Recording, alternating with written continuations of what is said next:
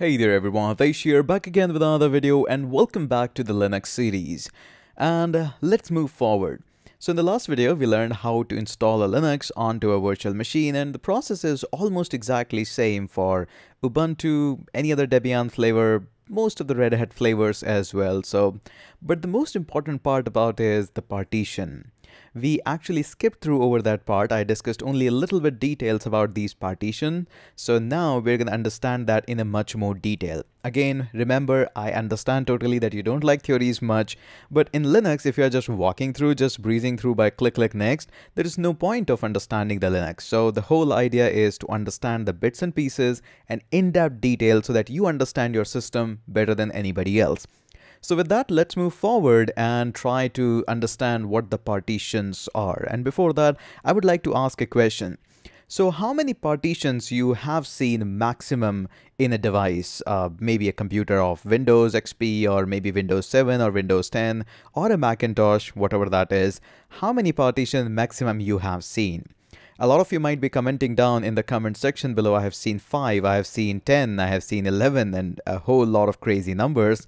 But do you actually know that the partition, you can only make like four partitions in your drive? And yes, I do agree with your point that I, you have seen 5 and 6 and 8. So what is the logic behind it and how the partition actually works? So let's go ahead and move forward into that. So first and foremost, we're going to talk about formatting because before even the partitions are done, there is one concept known as formatting that is being done. And there are two kinds of formatting that are that we do have. The one is known as physical formatting, also known as low level formatting, and another one is high level formatting. We're going to talk about that in a minute. First, let's talk about this physical formatting.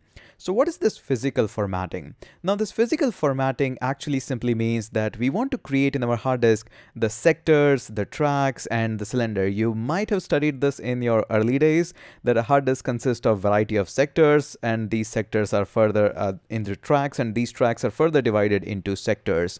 And we do that exactly same thing in the physical formatting. Now onto a hard disk, uh, which is completely solid, how do we create actually these uh, tracks and sectors? These are not actually done by somebody chiseling with the hammer down. No, it's not done by that. It's done using, using the magnetic fields. And the magnetic fields does some polarization through which sectors uh, are being created and these sectors can be further used to store information. And remember these sectors are just blank space being polarized through magnetic fields and uh, they are just ready to accept any kind of data.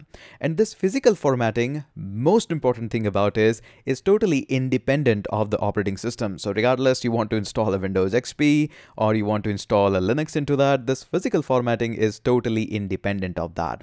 Now what is dependent on to your operating system is logical formatting and also known as high-level formatting. So let's go ahead and talk a little bit about this logical formatting as well. So what does this logical formatting does for you? Now this logical format has variety of steps and variety of uh, responsibilities to take care. Things like a uh, process of writing the sectors is actually being done in here. Also, how you're going to store your partition table, how you're going to write that, that also is done here. Apart from that, your sector size and positions are also uh, done through this uh, logical formatting. And yes, this one is actually dependent on the operating system. So how you want to write your partition table is actually done in the logical step.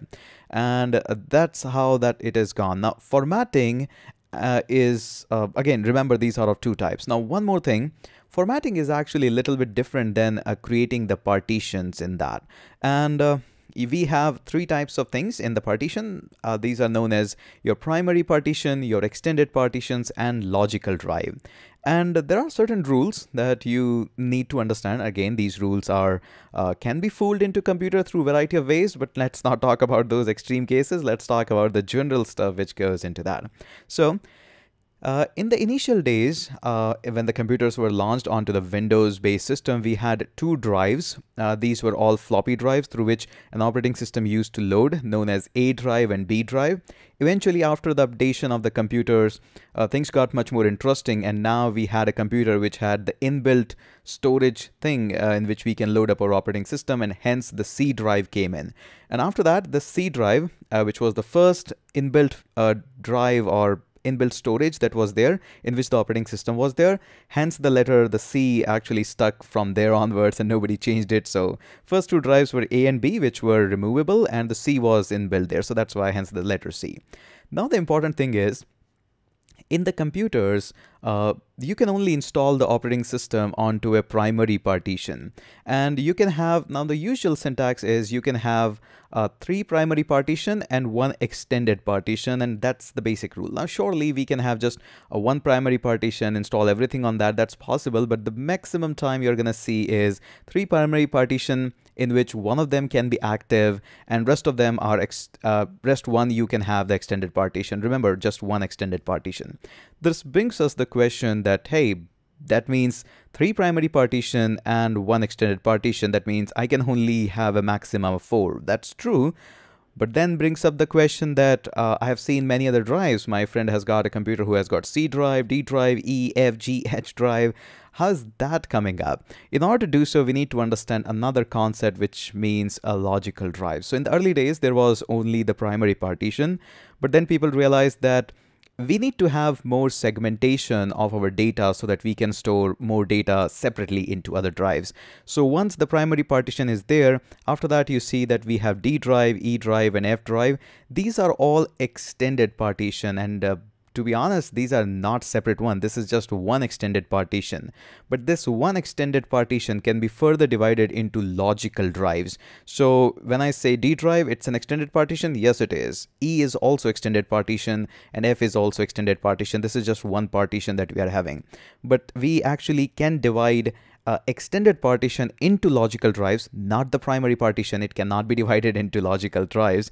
Your extended partition can be divided into logical drives and gives you a kind of a look and feel. It's not actually technically there, but it gives you a feel that yes, you have multiple drives and you can segment your data into multiple ones. So that's the whole story behind that.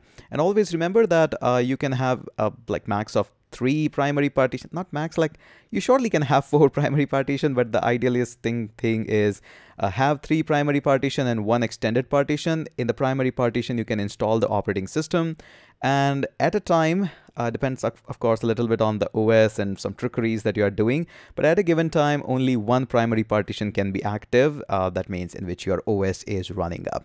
So now that this uh, concept is clear, so if you want to have multiple drives, make sure you format it is using the extended partition and then mix uh, logical drives into that. Now this brings us to another concept that we need to learn about and which is known as MBR, known as Master Boot Record. So what is this Master Boot Record? It is your first sector of the hard drive. Now this Master Boot Record or the first sector in the hard drive is actually responsible for a variety of things and the actual location is cylinder 0, sector 0, head 0 and the sector 1. That means you can understand it like just the very first thing that is there in your hard drive. So this is where usually your master boot record is and it is it stores the whole idea about how the partition table is going to look like and what is the bootloader. Inside the bootloader, the further information of where the multiple operating systems are are actually present. So if you either corrupt your MBR or bootloader, that means you have just lost your path to the operating system. Again, remember the difference between them. Master boot record is the first, sec uh, first sector in your hard disk, which stores the information like partition table and bootloader. And bootloader is a file which consists the information of where the other operating system are. If you have just one, that's the information. If you have two or three operating system, that's where that information is. So I know this is like quite a bit, a bit of the talking about uh, these, just the theoretical part. But don't worry, I'll bring up enough of the practical videos as well. Once we understand the theoretical part of MBR and bootloaders, then I'm going to walk you through that where these bootloaders are into the system so that you can actually see them, can manipulate them a little bit and mess around with the system. So that's it. Now you have full knowledge about partitions, tables, and all of that. Uh, now we can do a little bit of the practical and we're going to do some fun stuff of the practical in the next video. So stay tuned, hit that subscribe button, and I'll surely catch you up in the next video.